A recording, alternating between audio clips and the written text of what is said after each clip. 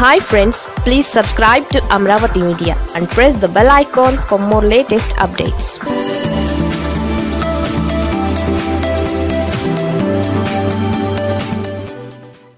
target TDP ఆ మూడింటిపై జగన్ గురి.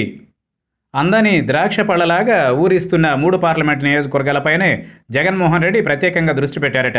మొన్నటి ఎన్నికలలో రాష్ట్రంలోని ఇరవై ఐదు లోక్సభ నియోజకవర్గాలలో ఇరవై రెండు చోట్ల వైసీపీనే గెలిచిన విషయం తెలిసిందే. గుంటూరు విజయవాడ శ్రీకాకుళం పార్లమెంట్ స్థానాల్లో మాత్రం ఓడిపోయింది. నిజానికి ఈ మూడు నియోజకవర్గాల్లో కూడా చాలా కొద్దిపాటి తేడాతోనే అధికార పార్టీ ఓడిపోయింది.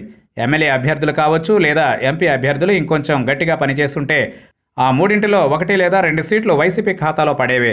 అయితే ఎక్కడో తేడా కొట్టిన కారణంగానే ఆ మూడు చోట్ల వైసీపీ ఓడిపోయింది. లక్షల ఓట్ల మెజారిటీతో ఓడిపోతే దాని గురించి పెద్దగా పట్టింపు ఉండేది కాదు. కానీ ఆ మూడు నియోజకవర్గాల్లోనూ వైసీపీ అభ్యర్థులు సుమారుగా ఎనిమిది నుండి పదివేల ఓట్ల లోపు తేడాతోనే ఓడిపోయారు. పోయిన ఎన్నికల్లోనే కాదు రాష్ట్ర విభజన నేపథ్యంలో రెండు వేల పద్నాలుగులో జరిగిన ఎన్నికలలో కూడా ఆ మూడు చోట్ల వైసీపీ ఓడిపోయింది.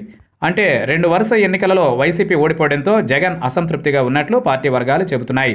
వచ్చే ఎన్నికలలో ఈ మూడు సీట్లలో గెలిపే టార్గెట్గా పెట్టుకున్నారు.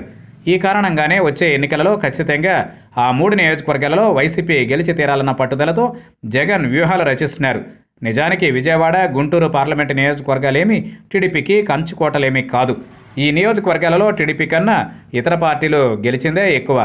ఇదే శ్రీకాకుళం నియోజకవర్గాన్ని తీసుకుంటే మాత్రం టీడీపీ ఏడు సార్లు గెలిచింది. ఇందులో పంతొమ్మిది వందల తొంభై ఆరు తొంభై ఎనిమిది తొంభై తొమ్మిది రెండు వేల నాలుగు ఎన్నికలలో కింజారపు ఎర్రన్నాయుడు వరుసగా నాలుగు సార్లు గెలిచారు. ఇప్పుడు ఆయన కొడుకు కింజరప రామ్మోహన్ నాయుడు రెండుసార్లు వరుసగా గెలిచారు. కాబట్టి వచ్చే ఎన్నికలలో ఆ మూడు నియోజకవర్గాల్లోనూ గట్టి వాళ్ళను రంగంలోకి దింపి టీడీపీని ఓడించాలని జగన్ ప్రత్యేక దృష్టి పెట్టారట. మరి జగన్ ప్రయత్నాలు ఎంతవరకు సక్సెస్ అవుతాయో చూడాల్సిందే.